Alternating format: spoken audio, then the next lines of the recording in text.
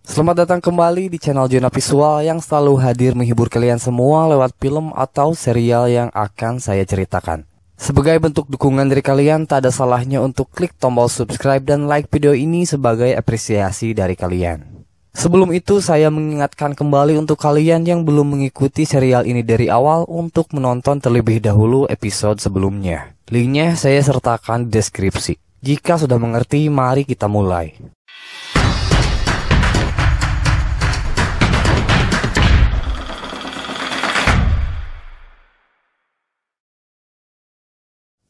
Di awal film kita langsung membahas kelanjutan dari episode sebelumnya yang mana kita ketahui bahwa Lagerta dan kawan-kawan berhasil dikalahkan oleh pasukan Aifar. Tentu atas kekalahan itu, Lagerta terpaksa harus meninggalkan wilayah kekuasaannya tersebut. Aifar Boneless dan King Harald Finehair menduduki Ketegat di mana Aifar mengumumkan bahwa mulai detik ini ia maju sebagai raja baru Ketegat.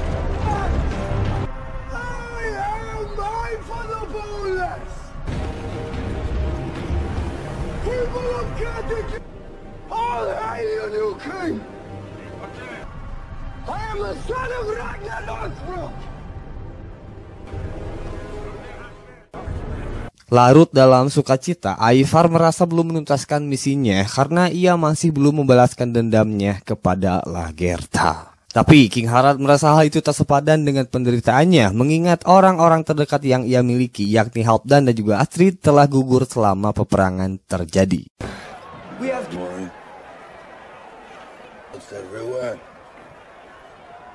And after all, of yours, hard, I lost everything. Against my own brother. My wife is dead. Look around! There are plenty of beautiful women here. Life, life goes on. Check out. Warriors! It is time! to honor the bonus.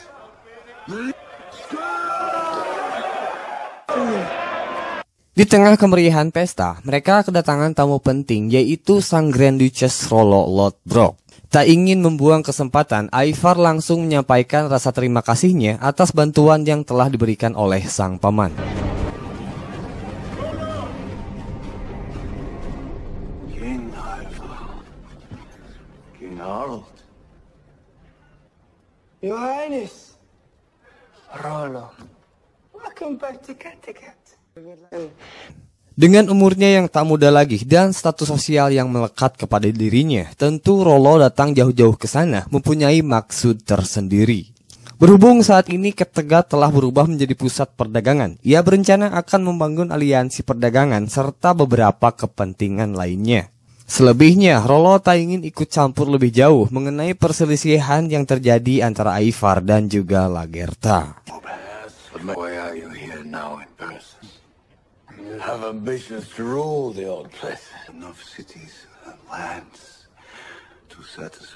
Why would I want to further burden of garrisoning Kattegat? We will strike a trade deal which we will also make an alliance for our mutual... I di tempat yang berbeda, kita diperlihatkan Lagerta dan kawan-kawan. Yang rupanya kali ini mereka tengah mengungsi di suatu permukiman yang tak berpenduduk. Dari sini kita diberitahu bahwa Margaret, istri dari UB, dinyatakan telah ODGJ atau gila karena terlalu terobsesi untuk menjadi ratu di Kattegat. Perlu dipahami bahwa saat ini keberadaan mereka sedang diincar oleh kelompoknya Ivar yang mana hal tersebut tidak membutuhkan waktu lama sebelum mereka ditemukan oleh pihak musuh. Lantas, Uskup Hemun menyarankan sebuah solusi kepada mereka, yakni pergi ke daratan Inggris. When Ivar discovers our plans, wish to be captured, humiliated, and but this is the end of my story. It's more than that. We don't have an army capable of challenging. What can we do? Where can we go? Ivo Severe, we could go to England. Hmm. I will intercede on your behalf with King Aether. He will almost certainly welcome you. But he will ask you against the Danes or... Could establish our going to Anglia given to us by Egbert. I don't want to leave my country and my home. Terkait dengan kerajaan Inggris, King Alfred Raja Baru Wessex mengumpulkan petinggi-petinggi gereja untuk menginformasikan beberapa hal. Menurut informasi, mereka telah mendengar kedatangan Viking Denmark di beberapa titik wilayah sungai di sekitar Wessex. Sebagai pemimpin yang bertanggung jawab, ia telah meningkatkan pertahanan dengan membangun benteng baru serta menara pengintai di sepanjang pantai wilayah kekuasaannya. Bukan hanya di sektor pertahanan, Alfred pun memperhatikan sektor keagamaan, yang mana ia telah memerintahkan semua biara dan juga rumah-rumah agama untuk mengajarkan ilmu kerohanian dalam bahasa Inggris. Namun, keputusan tersebut ditentang oleh sebagian besar pemuka agama, terkhusus oleh pemimpin gereja mereka, yakni Uskup Katrid. Di tempat lain, kita diperlihatkan beberapa armada kapal Viking Denmark yang sedang menyusuri sungai menuju Wessex. Perlu dipahami bahwa Viking yang dimaksud tidak ada sangkut pautnya dengan Viking yang selama ini kita bahas.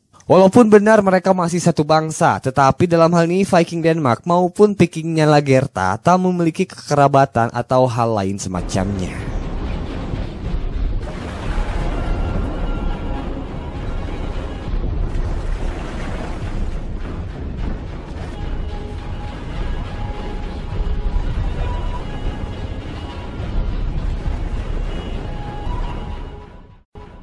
Kembali ke pembahasan, Ethelred yang bertugas sebagai komandan perang tak ingin kecolongan dan segera menyergap armada Viking Denmark. Berkat segala persiapannya, pasukan yang dipimpin oleh Ethelred berhasil menuntaskan perlawanan Viking Denmark.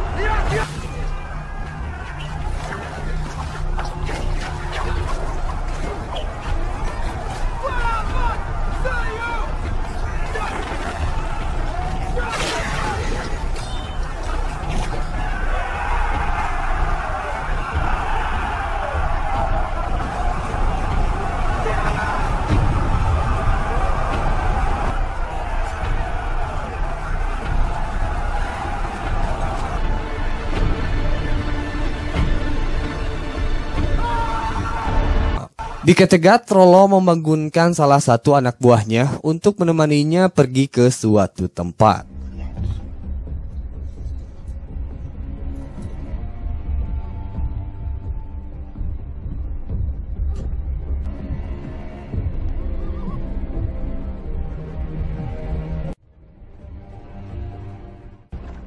Benar, rupanya Rollo membangunkan anak buahnya itu untuk mendatangi sebuah pemukiman yang saat ini dihuni oleh Lagerta dan kawan-kawan. Jelas kedatangan ia ke sana membuat mereka marah karena kita ketahui Rollo secara tidak langsung telah membuat mereka dikalahkan oleh pasukan Aifar.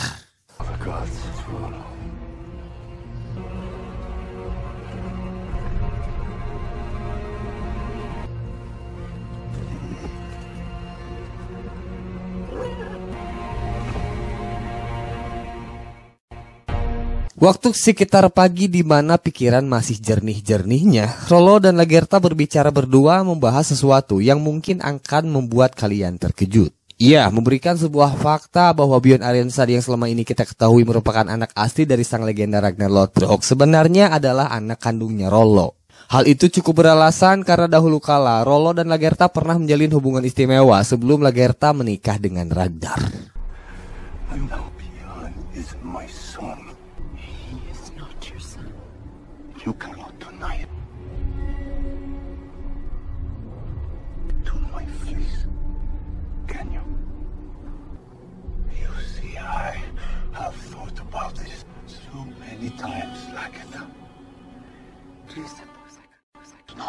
Benar ataupun tidak, Bion tidak terlalu mempedulikan hal itu karena ia masih marah dengan apa yang selama ini telah dilakukan oleh sang paman.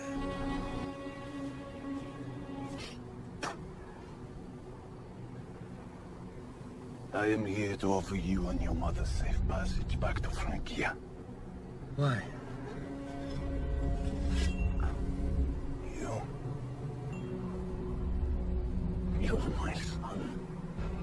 Have heard something to that effect.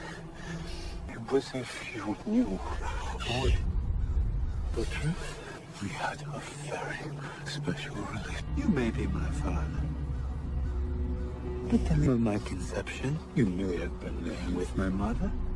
So who do I look most like? And for that, undoubtedly, for me to care. Tujuan lain Rolo datang ke sana ialah untuk mengajak mereka semua ikut bersamanya pulang ke tanah Frankia.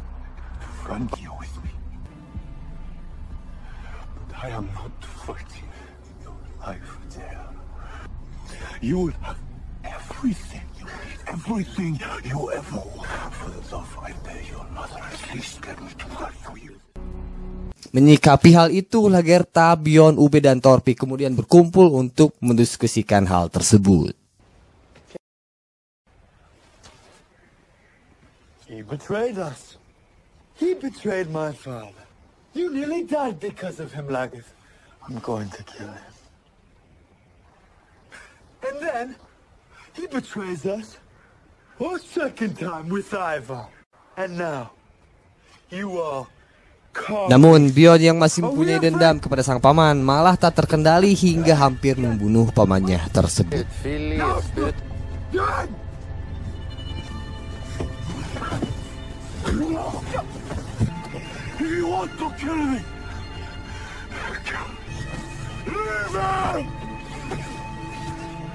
You're not worth the time it takes to clean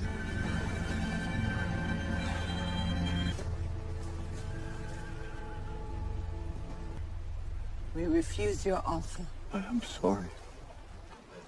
No need, traitor. Pulang dengan tangan hampa, Rolo kembali ke Ketegat dan memberitahukan semuanya kepada Ivar. Sebelum itu, ia menagih bayaran yang rinciannya sebagai berikut. I could tell you, but before I do, we must discuss our deal. You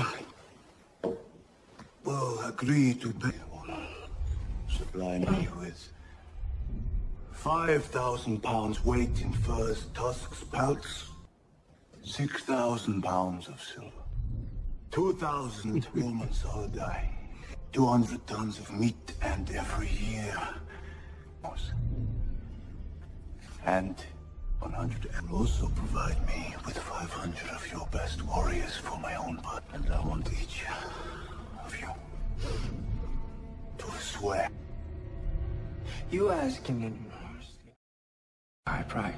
Tak ingin menunggu waktu lama, Ivar yang ingin segera menuntaskan dendamnya kepada Lagerta langsung menghampiri pemukiman yang saat ini dihuni oleh Lagerta.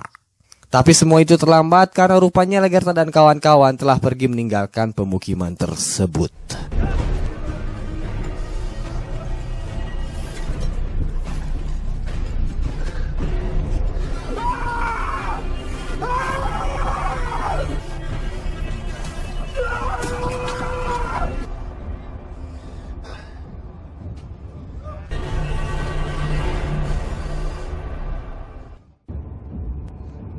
Setidaknya, Ivar menemukan Margaret dikurung di kandang hewan yang mana Margaret dibawa kembali ke Ketegat atas kehendak Hipsek.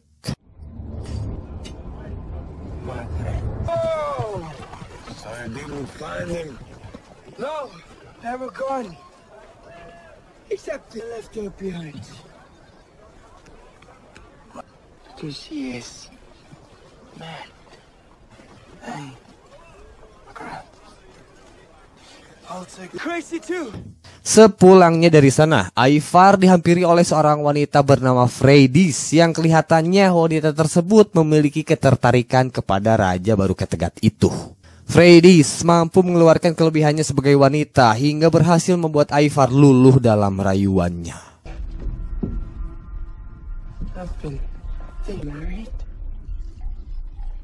No. I live alone. My name is Freydis. Freya. Me.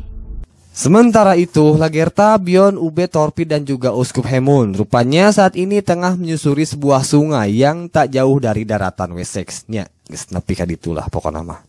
Pada saat sampai di hulu sungai, Ethelred dan pasukannya telah bersiap menghadang mereka agar tidak masuk ke dalam wilayahnya. Setelah Uskup Hemun menunjukkan batang hidungnya dan menjelaskan apa yang sedang terjadi, akhirnya kemudian mereka dibawa ke istana Wessex.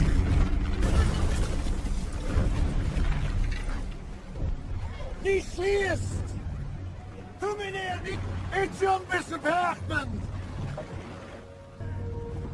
To Seytat now? We will it haben, Yemot.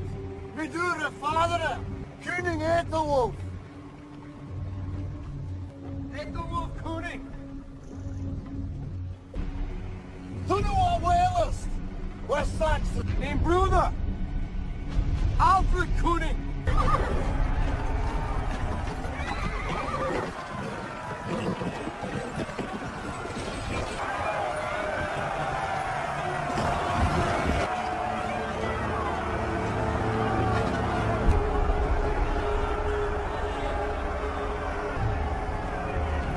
Sementara yang lain dikurung di dalam penjara, Uskup Hemun yang kita ketahui merupakan bagian dari kerajaan Wessex dibawa ke hadapan King Alfred. Lalu ia menjelaskan kepada raja apa yang selama ini telah menimpa dirinya. Rise, Bishop Hackman. The son Ivar the Boneless was triumphant. Yes, I fought in the great war between the sons of Ragnar. Came here with Ragnar Lothbrok. I played games with him when I was a boy. You have returned with the sons who were defeated. Yes. Sire. Di tempat yang berbeda, Bion dan Ube mengoceh ke sana kemari karena mereka merasa telah dihianati oleh Uskup Hemun. Namun hal itu tidak berlangsung lama setelah mereka dibawa ke hadapan sang raja. How else is he going to get home? We just gave him one. Imagine how famous King Alfred will be when he shows the Saxons. We gave it to him on a plate. I still cannot believe that he has proved to be a fool for love. Well, Where Ragnar was imprisoned and betrayed him.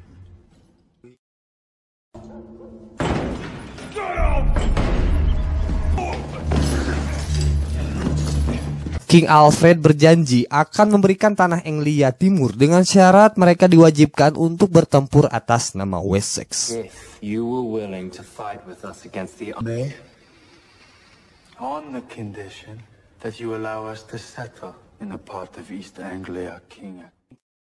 Archers, but first Karena percaya kepada Uskup Hemon, Lagerta menyetujui hal tersebut. in battle. We have a legal right to that land. We accept your offer. I'm glad it was Bishop Hagman to propose the solution, which seemed to me. So, as long as we are allies and friends, you are free to use the royal villa as events. My kitchens and cellars are there for your use. Lord King. Setelah bangsa pagan ini meninggalkan ruangan, Uskup Hemun meminta kepada raja untuk mengembalikan keuskupannya. Namun, King Alfred tak bisa semena-mena mengangkat Hemun sebagai uskup dengan berbagai alasan yang tak memungkinkan hal itu terjadi. I would. I wish to be Bishop Hare. My lord, because we thought you were dead, the king felt obliged to... And who did you appoint? Your noble friend. Lord Cuthbert. There's no turn. Therefore, entitled to preferment. And yet, I am not dead. So you can pronounce his appointment. Everyone knows by now that you did not die fighting the pagans. Rather, you joined them, fighting not in the name of our Lord. But alas, there are many who don't. Jauh di seberang sana, Ivar berdiri di depan rakyatnya sembari mengumumkan bahwa ia telah menemukan wanita yang cocok untuk menjadi calon istrinya. People, I have chosen this woman to be my new wife, and as your new queen of Kattegat. King Harald yang berada satu meja bersama Hipsek berpikir bahwa Ivar telah menganggap Kattegat adalah miliknya selamanya. Hal itu tentu tidak berkesinambungan karena jika berkaca kepada beberapa waktu ke belakang, Ivar telah sepakat akan menurunkan tahtanya kepada King Harald setelah ia mati. Tak berselang lama, akhirnya King Harald bisa kembali tersenyum setelah diberitahu oleh Margaret bahwa Ivar tidak bisa mempunyai seorang keturunan. Kemudian pasangan yang tengah berbahagia ini melanjutkan hubungannya ke arah yang lebih intim. Dalam hal ini Ivar tersadar bahwa ia tidak bisa memuaskan wanita pujaannya itu. Namun sepertinya Fredis memahami hal itu dan ia menganggap Ivar bisa mempunyai keturunan. Anehnya, setelah berhubungan dengan Ivar, Freydis memaksa seorang pemuda dari Ketegat untuk mantap-mantap dengannya. Sementara itu, Uskup Heimun datang ke gereja katedral untuk menemui uskup baru yang sebelumnya telah kita bicarakan. Jelas, Uskup Heimun merasa tak terima dan di sana ia mendiskriminasi atas apa yang telah direbut oleh Uskup Katred. Dari bagaimana cara Uskup Katrid menanggapi kedatangan teman lamanya itu, kelihatan banget Uskup baru itu sangat segan kepada Hegemon. Martin, how strange it is to find you set. Sacred stage. Never thought your ambitions were fixed upon us. Does indeed work in a mysterious way, my dear. You would lie down on a burning griddle, or castrate yourself, pluck out. Aikman, you're not exactly a saint yourself. The Lord knows my struggles. I struggle with the devil. You like being a prince of the church because of these fine robes and the trapping. Not you. Lalu kemudian terungkap bahwa Uskup Katrid ini menunjukkan ketidaksukaannya kepada King Alfred. Yang mana hal tersebut mengindikasikan bahwa Katrid beserta para pendukungnya saat ini tengah membentuk sebuah kelompok untuk menggulingkan posisi King Alfred. The death of King Aethelwulf was a tragedy, and the ascension of his son a most dangerous outcome for all of us who believe. And these would seek Alfred's overthrow. Kembali ke istana Wessex, di sana King Alfred tengah menjamu seorang putri bangsawan Northumbria bernama Elswit yang diketahui wanita tersebut digadang-gadang akan menjadi calon sang raja. Berhubung saat ini situasi sedang carut marut, Ethelred sang kakak segera memberitahukan berita tentang beberapa oknum gereja yang berusaha menggulingkan posisi Alfred. Setelah acara selesai, Alfred memanggil UB ke ruangannya untuk memberitahukan beberapa hal. Jadi gini, akibat dari keputusan King Alfred menerima bangsa Viking ke dalam istananya, membuat sebagian dewan merasa tak terima. Untuk meredakan situasi agar orang-orang merasa yakin, Alfred meminta kepada UB untuk dibaptis di hadapan publik. Sebagai imbalannya, ia berjanji akan menyerahkan tanah Engdia Timur kepada pihak UB. do it was not of my doing.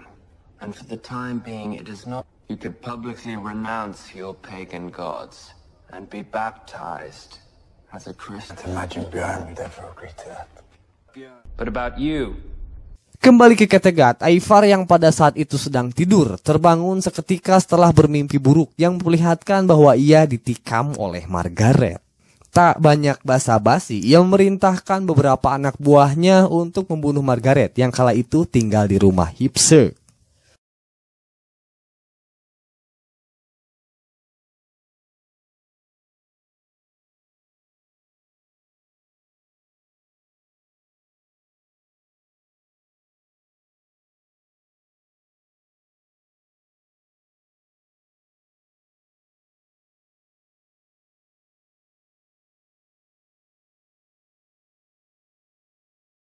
Sementara itu, Uskup Hemun dan Lagerta kerap kali kedapatan berhubungan intim di beberapa tempat yang berbeda.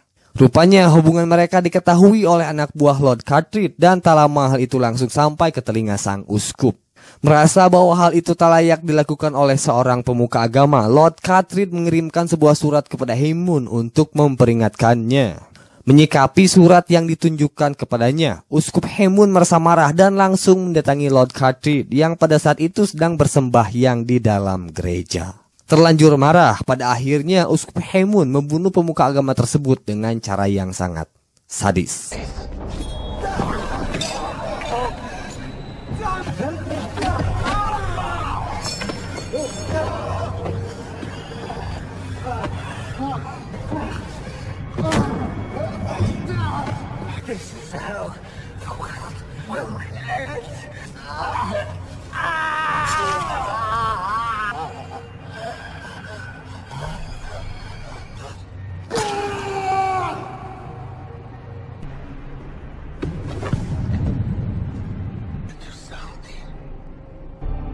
Bagaimana kelanjutan ceritanya? Tunggu kami di episode selanjutnya. Cukup sekian untuk episode ini dan terima kasih telah menonton video ini sampai selesai. Mohon maaf bila ada salah-salah kata. Assalamualaikum warahmatullahi wabarakatuh.